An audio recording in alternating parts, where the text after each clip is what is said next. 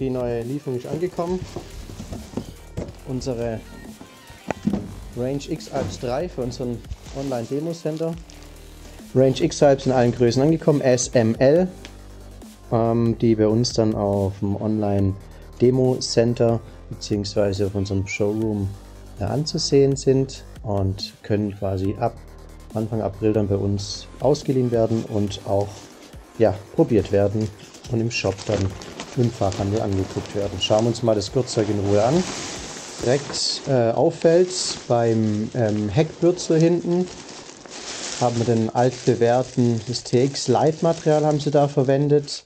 Ähm, natürlich für die Teile, was mir jetzt direkt auffällt beim Beinsack selber, ähm, das N70 äh, Robic Plain Double RS Material ist ein silikonbeschichtetes Nylon und verringert die Luftdurchlässigkeit und erhöht natürlich die Abrissgefahr und es kommt deshalb am Beinsack sowie an den anderen restlichen Außenhüllen zum, zum Einsatz. Also vorne hat man auch noch dann so eine ähm, dehnbaren Nylon 215D Stretch heißt das Material, sind dehnbar für eine perfekte Passform am Beinsack.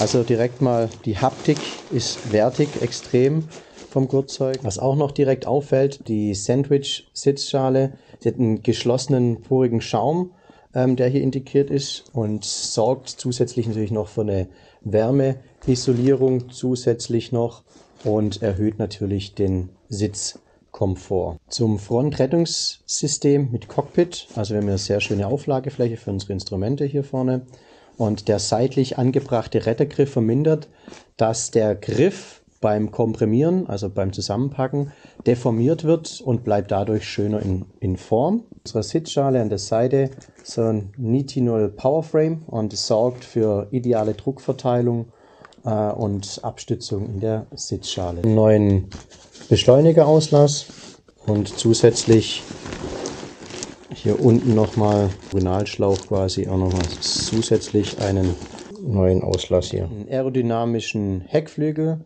dieser Staudruckflügel, der sich durch die anströmende Luft dann aufbläst, wird hier die Luft geht hier rein, füllt dann diese sogenannten Mini-Ribs, die wir hier sehen, diese Mini-Ribs. Ähm, und die sorgen natürlich für eine ideale Form und verbessern natürlich auch den Luftwiderstand und erhöhen die Kleidleistung dadurch. Auf unserer ähm, Online-Showroom könnt ihr natürlich dann euch die schönen Fotos anschauen, wenn der dann durch die Luft anströmt, wie sich das dann auch schön dann füllt. Ähm, genau, das könnt ihr euch dann in Ruhe dann anschauen. So, dann schauen wir uns noch vom Range X Alps die Taschensituation an. Wir haben hier hinten am Cockpit ideal äh, für Powerbank zum Aufladen für unsere Fluginstrumente ein kleines Fach. Dann hier zusätzlich an der rechten Seite eine kleine Lycra-Tasche. An der Flugrichtung linken Seite haben wir hier nochmal eine schöne Staumöglichkeit. Ein weiteres Staufach unterhalb vom Sitz. Hier vorne mit einem Fassungsvermögen von 17 Liter und maximal können hier 5 Kilo zusätzlich noch verstaut werden. Staufach Nase neu.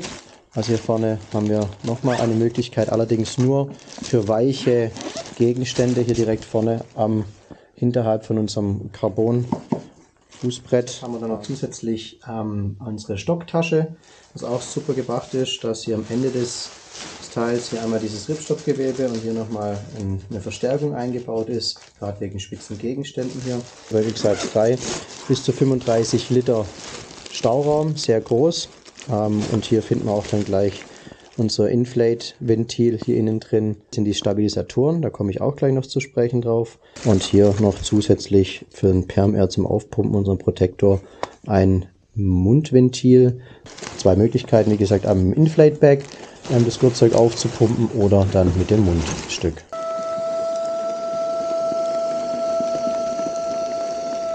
Was direkt aufgefallen ist, war durch dieses Rückschlagventil kommt keine Luft mehr raus und vor allem das Aufpumpen ging jetzt viel, viel schneller. Ich habe jetzt gerade mal eine komplette Füllung gebraucht, um das Gurtzeug aufzupumpen. Ja, dann hängen wir es mal ein. So, dann zeige ich mal die Verstellmöglichkeiten. Einmal die In-Flight-Verstellmöglichkeiten, Schultergurt ähm, einmal weitermachen und anziehen. Dann haben wir für den Rücken, für die Rückenneigung links wie rechts. Einmal kann ich dann die Rückenneigung hochholen und dann gibt es noch weitere Verstellmöglichkeiten mit einer Knotenleiter. Das ist natürlich in der Luft wird es ein bisschen schwierig. Ich kann einmal das Becken nach oben holen, ähm, indem ich hier diesen Schla diese Schlaufe öffne und über den nächsten Knotenpunkt dann drüber äh, stülpe. Wenn ich den Oberschenkel eher ein bisschen aufrechter haben möchte, nach hinten oder flacher gestellt, kann ich das auch hier über so eine sogenannten Knotenleiter dann hier machen. Das heißt, hier ist der Aufhängepunkt hier unten und kann dann auch wieder den, die Schlaufe über den Knoten setzen, um den Neigungswinkel hier zu verstellen. Der Beinsack wird über vier Knotenleiter dann angesteuert zur Fußplatte hier unten und kann dann auch der Beinsack dann in seiner Länge mit der Knotenleiter verstellt werden. Diese Stabilisatoren sind, ich mache jetzt mal einen weg, und die können jetzt quasi hier an der Seite ähm, jeweils zwei, also hier auf rechts wie links, und die können montiert werden, um das Gurtzeug noch stabiler zu machen, zum Beispiel äh, wenn man in einer Kombination mit einem Hochleister fliegt. Zeige ich das kurz hier einmal, also einmal hier ist eine Schlaufe und dann hier am Frontgurt unterhalb, wo dann dieser Schäkel wird hier auf der Seite einfach, wie gesagt, durchgefädelt dann nachher eingehängt wird. Wichtig ist dabei, dass dieser Schraubschäkel, der ist hier oben dann gedacht, dass der hier eingehängt wird, damit er hier nicht hier unten an die Oberschenkel dran drückt, ähm, einfach wegen Komfort. Als erstes kommt hier die Kugel mit der Markierung A, der Öse mit B.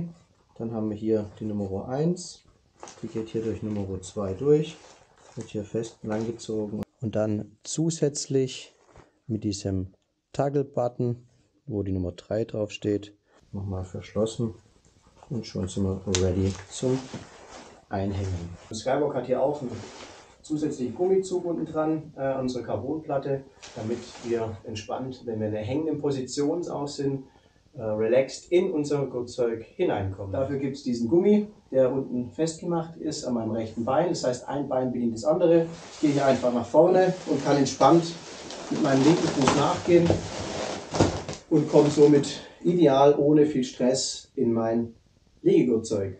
Einen leichten Gummirückholer vorne an meiner Carbonplatte dran. Somit ist gewährleistet, dass mein Speed-System ideal für mich in meinem ja, Beinsackkanal hier erreichbar ist. Wenn ich nach hinten gehe, komme ich entspannt in die erste Stufe rein mit meinem rechten Bein, kann mit dem linken Bein nachdrücken und trete automatisch symmetrisch in die mittlere Schlaufe, damit hier eine Symmetrie gewährleistet ist für mein Speed-System. Wie steige ich aus meinem Range X-Hypes aus? Ähm, ein Bein bedient genauso wie beim Einsteigen das andere.